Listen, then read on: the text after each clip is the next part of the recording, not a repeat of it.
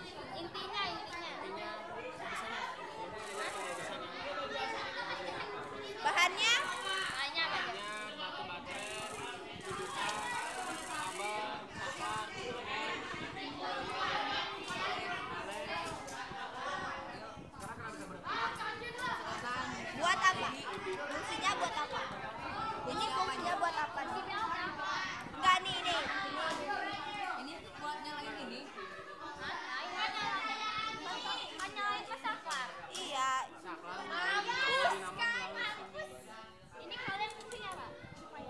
biasa ada aturan gitu.